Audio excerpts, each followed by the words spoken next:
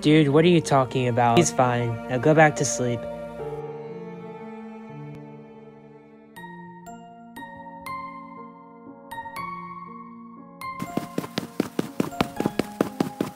Adorabat, what did I tell you?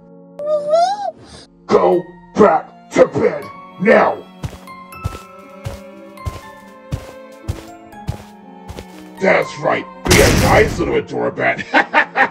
oh yes, I killed him, eventually, evilly, and dead! and I'm proud of it!